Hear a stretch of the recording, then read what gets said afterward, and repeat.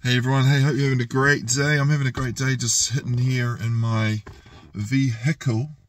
Uh, probably not a good, um, probably not a good example having so much uh, junk in the back of my car, but we are uh, part of strong fencing in uh, New Zealand, and I'm really wanting to start inputting and reaching out to people uh, around the world, just talking about what it means to to run a construction company, but also you know what it means to run a fencing company, and uh, you know we're a husband and wife team, and we uh, have an accounts uh, person that works with us, and we have a team of guys that work with us, and we're working in a small-ish city with uh, you know around about twenty thousand people, so it's not a massive population base, but we've managed to establish a business here. But I wanted to really just encourage people out there who are thinking about uh, starting a business. It can be super rewarding um, why do I run a business as opposed to working for somebody else?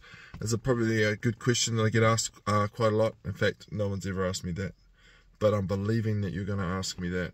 Uh, why, why, why do you want to run a business? Well, first of all, uh, the potential for income is a lot higher uh, than if you're working with someone. Obviously, if you're working uh, on a salary, you're going to be capped to an hourly rate where when you run a company, you get paid uh, by the job.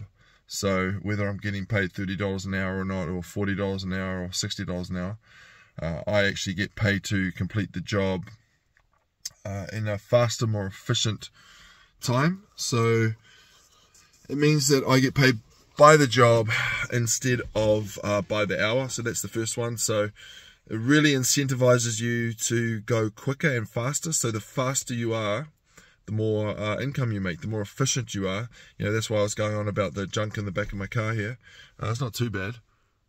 Um, but, you know, if you've got a messy vehicle, uh, that's going to cost you time. If you're running out of tools, that's going to cost you time. If, you, if you're turning up late to things because you got a flat tire and you haven't looked after your vehicle, then that's going to cost you time. So it's all about time. Time is money, uh, literally. Uh, and so the faster you go, and so probably the two things that we really focus on is speed and accuracy when it comes to um, installing a job. And so speed is about, like what I just mentioned, uh, it's about uh, communications, having great communication um, systems.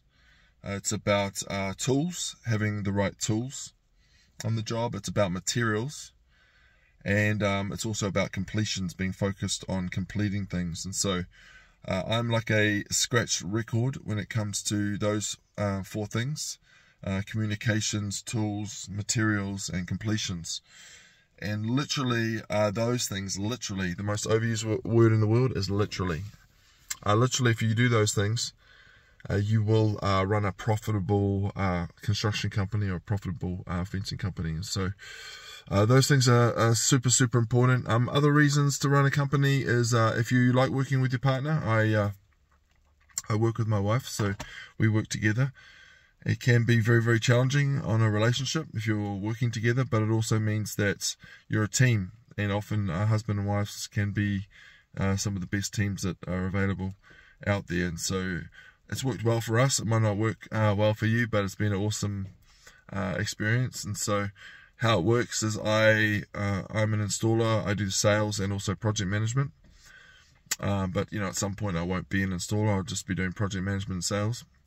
Uh, but um, and then um, what my wife does is she's great at communication, so it's really just working with your strengths. But what she does is she takes care of the uh, back end office side of things, and I'm working out the front. The front. I'm the front of house, so she's like the cook in the kitchen, cooking things up and uh, yeah, I'm out there. I'm out there. It's probably not a good example. Um, I'm out there in the field, um, just driving around, installing fences, uh, meeting customers. Uh, but but they are customers are front facing to my wife. In fact, that she answers the 0800 number, so we have a person doing that. Um, so the other advantages, yeah. So I guess working with your partner is pretty awesome. Uh, be be lots of fun for some of you. Um, being able to be, get paid by the job instead of by the hour. Um, but also uh, the sort of time freedom. You know, a lot of people talk about passive income and stuff like that. It doesn't exist. I'm sorry.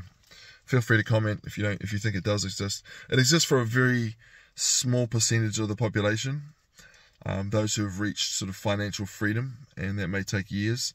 I think for most of us, it's it, we need to realize that working hard is probably going to be the the route that we need to take.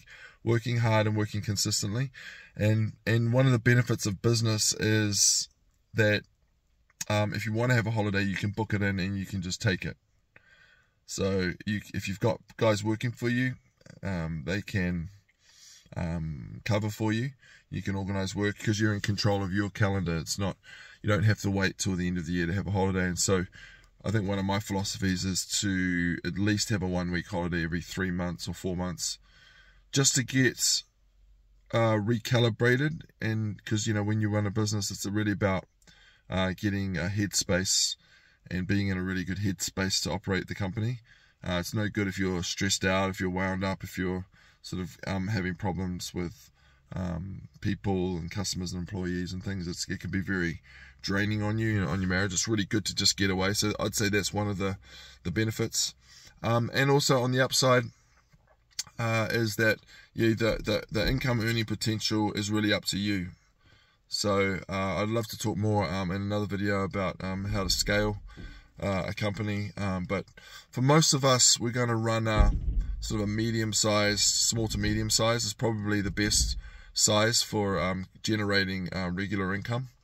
Uh, building something that's beyond that is um, well, there's a lot more risk involved in it. So, um, so those are some of the upsides of businesses. Um, what are the downsides? Uh, you ask. Whew, where do I start? The downsides. Uh, number one is is you are in charge of your own finances. So I'd encourage people early on to get get get accountants and um, administration people um, involved in the financial side, unless you're really really good at it. Uh, but for most companies, you need to realize uh, you when you start out, uh, everything's great. You've got a great cash flow. You've got you have your margins and profit margins coming in. But um, sort of in about the year three, you need to watch out because that's when your your tax really starts coming on strong. Uh, in our country, uh, they they make you pay provisional tax uh, sort of in your second third year. It's it's kind of you're paying forward your tax, so you end up getting hit with a bit of a, a tax surprise. So I guess one of the downsides is, is you can get into debt. You can end up owing money if you're not very careful in, in the times when it's uh, plentiful. So you need to have a mindset of stewardship and thinking how we're going to uh, think long term. So uh, that that's that would be why a lot of companies um, fail, is the as they plan they don't plan ahead for when those times are coming. Uh, another downside of business is um, yes, you do have your time management, but if you're not good at managing it, um, the business can actually take over your life. So I, as a business owner, earn a decent income, but I uh, I I have the potential to work from six o'clock in the morning till twelve o'clock at night. And so if I don't put proper systems in place, I don't delegate, and I don't yeah I don't build those systems. What can happen is I can start to become a workaholic. I can work 60 hours a week. I can work 100 hours a week if I want. There's, there's no limit. So you need to put boundaries on yourself to make sure that you're not um, burning yourself out. Uh, that's definitely one of the things to watch out for uh, with, with work. Um, and I think, obviously, when you run a business, you are, I guess, thirdly, uh, to watch out for one of the downsides is uh, you've got to watch out for liabilities. There are a lot of liabilities, uh, especially the more staff you have, the more vehicles you have. Vehicles breaking down, vehicles getting damaged. Um, in my business, going through power cables, going through internet cables, and all of those, uh, you know, in, in themselves, they're not that bad. You can deal with them. Uh, but you do need to have a risk management um, approach because um, things are going to go wrong. Um, thankfully, I haven't been hit with anything major, but I know a lot of people have, have been wiped out uh, because they didn't have the proper insurances, uh, especially liability. Public liability is the big one. But you know, I've I've had stuff being damaged and tools, and the insurance didn't even cover it, so you end up taking that as a big L, as a loss. So you can uh, lose money, which if uh, man, if if you're working hard, it's one of the hardest things about business is losing uh, finances that you you don't need to lose because you made a mistake. So a lot there's a lot more stress and responsibility, but that's what you're getting paid for. Unless you're a super highly paid um, self-employed person, uh, over, earning over two or three hundred thousand a year. You know, if you're earning half a million a year as a self-employed person, you might want to not look at business. But for most of us that want to sort of earn in that sort of um, you know mid 200s or even more, you know, sort of 100k all the way up.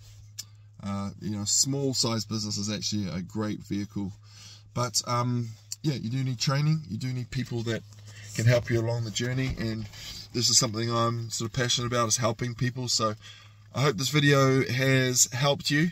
If you're uh, running a small uh, fencing company or a construction company, and uh, you know there's some some you know there's some things that you really enjoy about it. Um, make sure you post in the comments. Also if there's some stuff that you really find that you're struggling with why don't you post that in comments and, and always um, make sure you like and subscribe. Remember stay strong. Cool. We'll catch you next time. Bye